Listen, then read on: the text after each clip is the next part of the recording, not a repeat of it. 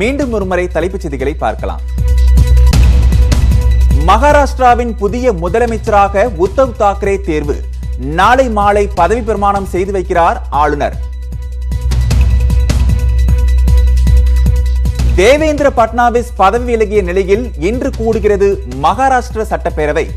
எம்எல்ஏக்களுக்கு பதவி பிரமாணம் செய்து வைக்கிறார் தற்காலிக சபாநாயகர். பிஎஸ்எல்வி சி ஃபார்ட்டி செவன் ராக்கெட்டை இன்று விண்ணில் செலுத்துகிறது இஸ்ரோ. புவி ஆய்வுக்கான கார்டோசாட் த்ரீ செயற்கைக்கோளை நிலைநிறுத்த நடவடிக்கை. அரிசி ரேஷன் அட்டை வைத்துள்ள அனைவருக்கும் ஆயிரம் ரூபாயுடன் பொங்கல் பரிசு தொகுப்பு. பொங்கல் பண்டிகை போது வழங்கப்படும் என முதலமைச்சர் அறிவிப்பு. உள்ளாட்சி தேர்தலில் துணை மேயர் உள்ளிட்ட பதவிகளில் தாழ்த்தப்பட்டோருக்கு இடஒதுக்கீடு வழங்க கோரிய மனு.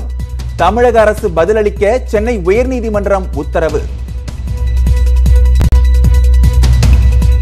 ஜிஎஸ்டி செலுத்துவோருக்கு குழுக்கள் மூலம் பரிசு. வரி செலுத்துவதை ஊக்குவிக்க மத்திய நிதி அமைச்சகம் திட்டம்.